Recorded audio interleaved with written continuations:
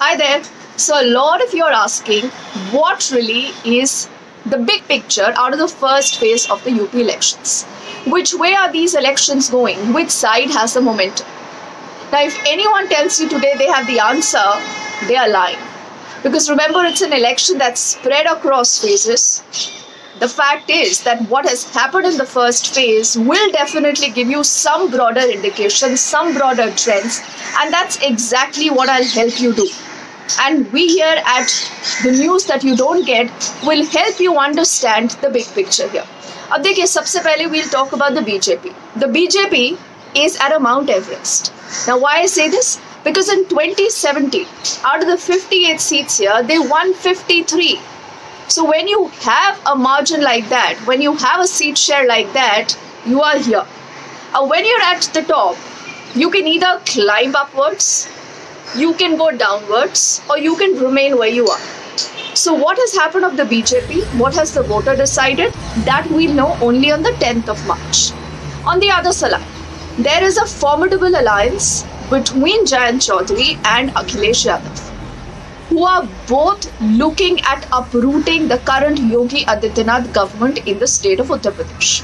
अब उनको क्यों ऐसा लगता है कि उनके साथ मोमेंटम है क्योंकि सीधा सीधा वो ये देखते हैं कि जिस तरह एक जन आंदोलन हुआ है किसानों का, और जिस तरह ऑपोजिशन ये कहता है कि किसानों के साथ धोखा हुआ है, किसानों की सरकार ने सुनी नहीं, उनको जो भी आश्वासन दिए वो पूरे नहीं किए, इस वजह से किसान बेल्ट में, जो एक शुगर केन बेल्ट है, एक आलू की बेल्ट है especially in western part of Uttar Pradesh that will vote in their favour so has that happen does the gathbandhan have any kind of momentum again this is something that we will know definitely only on the 10th of march but before that एक हल्की सी बात आपको बताना चाहती हूँ Western Uttar Pradesh is the most prosperous region in the entire Uttar Pradesh area. This is obviously close uh, to the Delhi NCR region. And uh, एक interesting factoid है आपको आपको ये पता ही है कि नासा जो है वो ऊपर से बहुत सारी तस्वीरें देखता है तो जब आप ऊपर से एक तस्वीर लेते हो, स्टेट ऑफ़ उत्तर प्रदेश की सबसे ज़्यादा लाइट्स सबसे ज़्यादा लाइट्स आपको पता है किस एरिया में चलती हैं? That's the western UP belt just an interesting factoid अब वापस आते हैं कि what does the first phase data really tell us एक फैक्ट है कि higher turnout has been reported in villages in the rural belt and western UP में This rural belt is traditionally again comprised of the farmers, the Jats, the Gujars, which is said to be again the traditional voting base of the Samajwadi Party. So, does this mean that there has been a favorable movement in terms and for the Gathbandhan? We'll have to wait and see. Urban vote जो है, जो urban pockets है, the voting has been subdued. इसका सीधा सीधा मतलब ये है कि जिस तरह या जिस प्रतिशत में भाजपा जो चाहती होती कि उनके वोटर्स अब क्यों मैं कह रही हूँ उनके वोटर्स क्योंकि यूजुअली अर्बन पॉकेट्स में the people are living they are considered to be the core vote of the BJP the middle class the upper middle class you know these are people again traditionally who have voted for the BJP again these are very traditional figures that we are quoting traditional facts so the urban vote has been a little subdued. Is this bad news for the BJP? We'll have to wait and see. Nine ministers, nine ministers this time are those who were contesting in Western Uttar Pradesh. Now, again, I've spoken to a lot of people on ground, a lot of reporters, and there is, you know, some bit of sense that perhaps some of them could be in a tight spot. Now, a minister in a tight spot otherwise is no news. But when it is a news, in, is, is when a number of your ministers perhaps could be in trouble. They could be in for a tight contest. When that happens, does this talk of an anti incumbency? I'll leave that thought in your mind. Next, there hasn't been much of a conversation on the Congress. I, I didn't hear, I didn't see a lot of people speaking about the Congress. So does this mean that the Congress has largely been ineffective?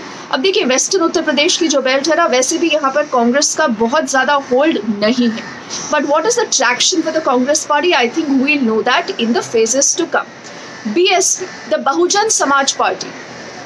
Now, there is, you know, th- there is a school of thought that tells you that Mayawati is nowhere in the fight. बहन जी कहीं है ही नहीं अब एक side ये कहता है कि आप उन्हें इग्नोर करते हैं आप बहन जी की बात नहीं करते हैं लेकिन Behen ji is very much there she is in there for a fight so I am telling you both sides because it's important for you to know Now, this area of Western Uttar Pradesh again has a considerable percentage of the Jata votes. Jata vote again is something that has been the traditional vote of the BSP, of Behenji. But there is also an indication that we could have possibly seen some bit of split, some bit of split in this Jata vote.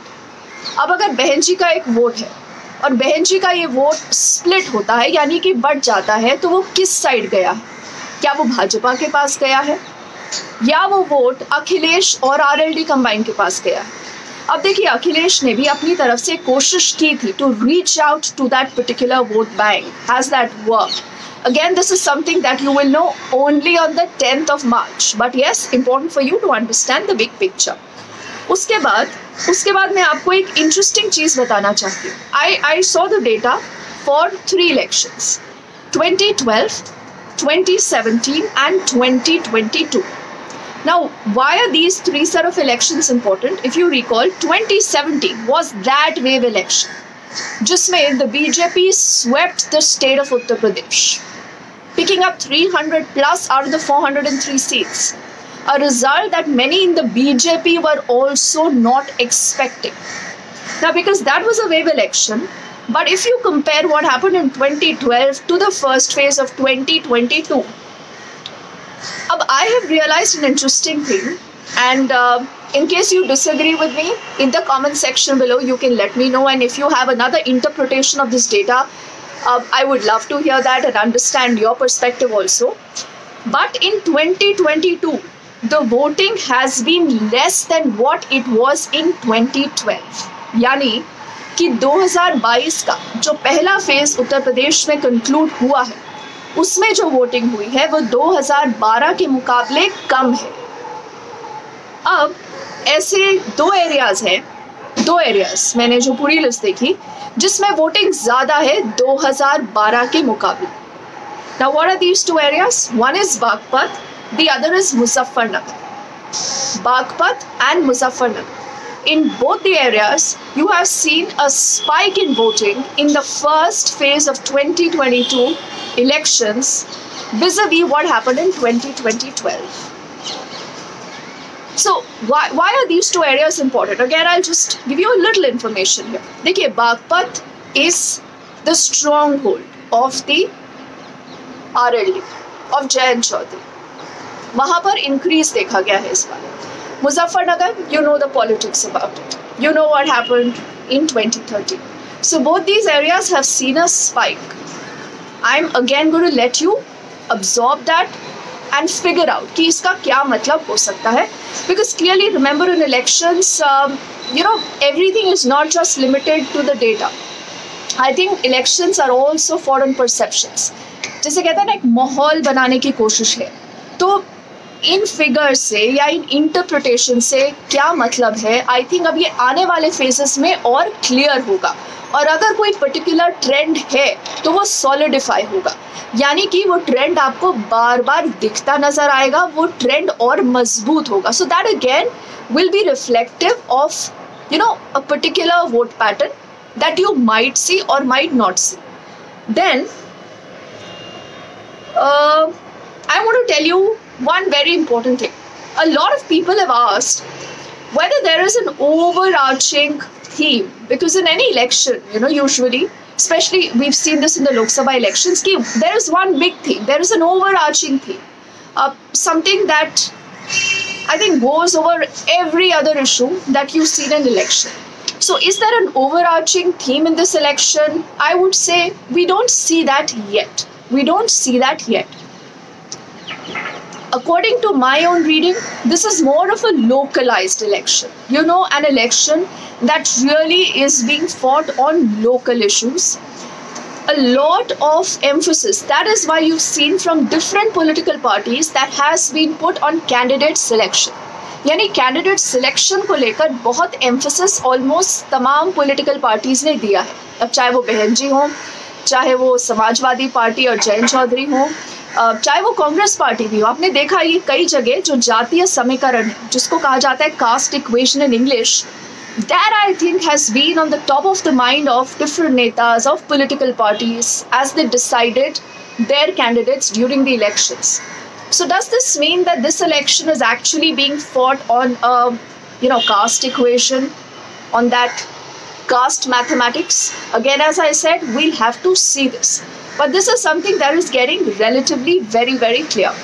Now, this is about phase one.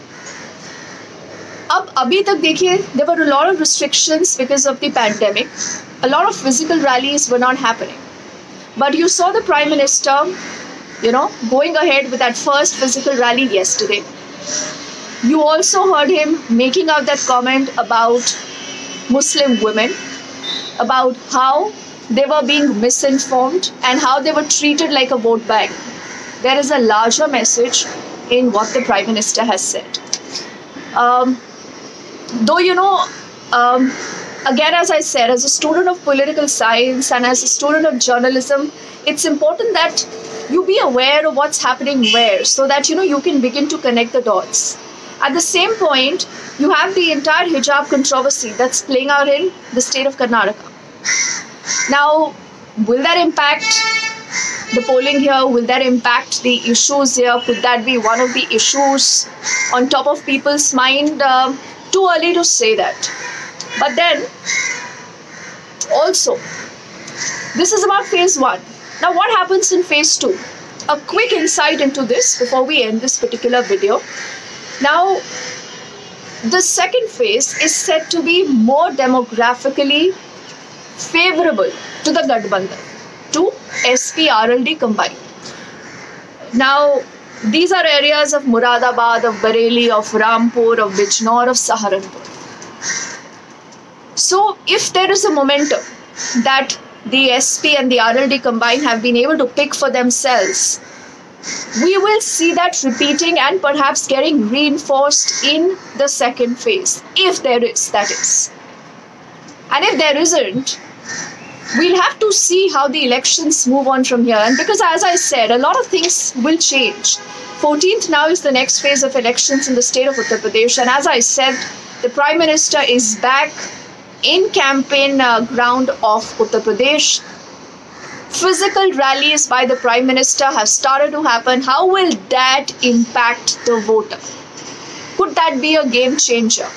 The BJP, you know, would definitely bank on this uh, I think the likewise holds true also for Akhilesh, for Jayant, for Priyanka Gandhi, and uh, though you know not many people are talking of uh, Mayawati, but I still believe, I still believe that there is that grey area about Behenji, and you never know, you never know which way her vote bank will really move, and could that be then the deciding factor in the UP elections of uh, 2022.